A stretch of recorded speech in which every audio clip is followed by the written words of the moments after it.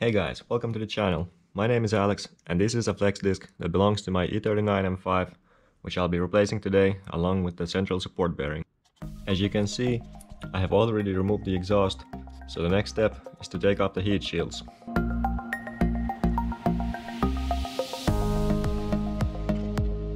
To access the flex disc bolts, we'll have to remove the cross member, so unbolt the mounts and place a support under the transmission.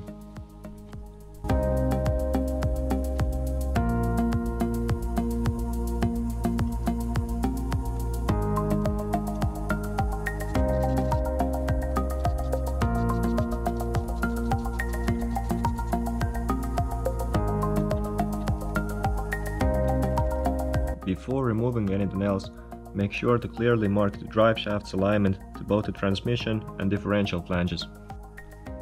If your handbrake works, you can use it to hold the drive shaft in place while you undo the bolts.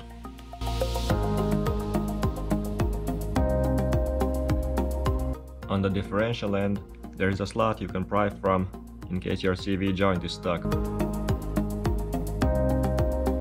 Now we can unbolt the center support and remove the drive shaft.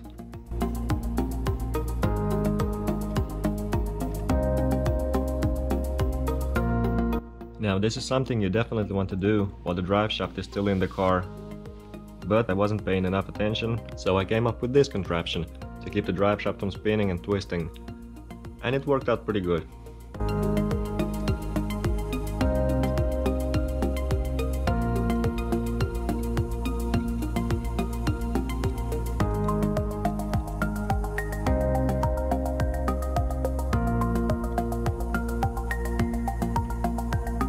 Now that we have some splines exposed, we can precisely mark them so that we are not even one spline off when we reinstall the drive shaft.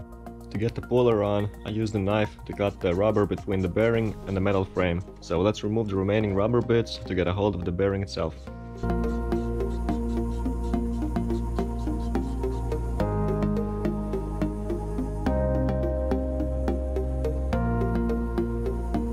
When installing a new bearing, make sure you push it in all the way so it bottoms out.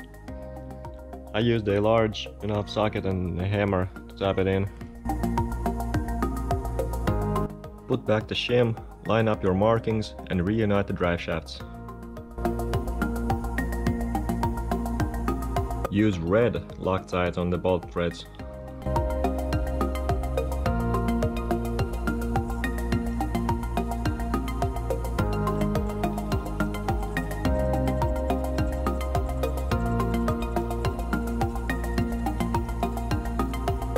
When bolting up the new flex disc, pay attention to small arrows printed on the rubber.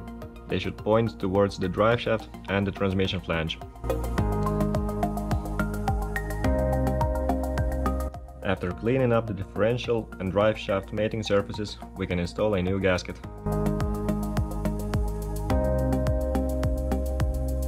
And then pack it with fresh grease. When reinstalling the drive shaft, again make sure all your marks line up.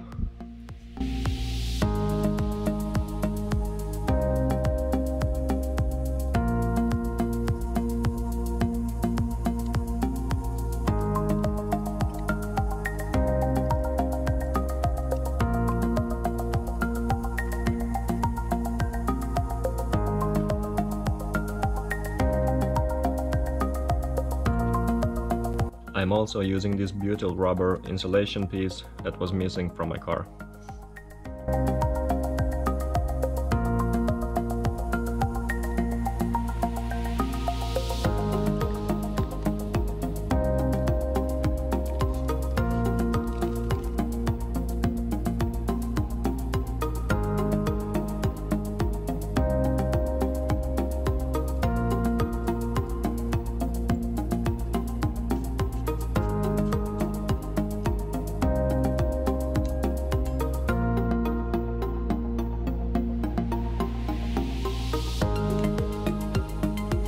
Center support bearing requires pre-tension, so only fully tighten it up after both ends of the drive shaft are torqued to spec.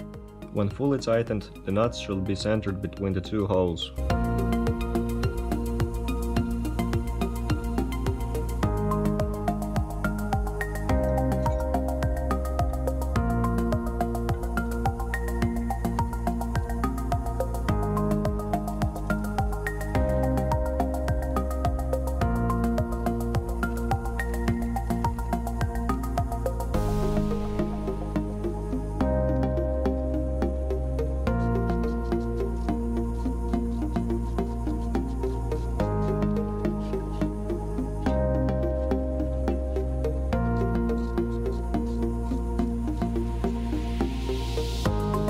Now the cross member is supporting transmission again, the wiring is all tied up, so let's reinstall the heat shields and be done with this job.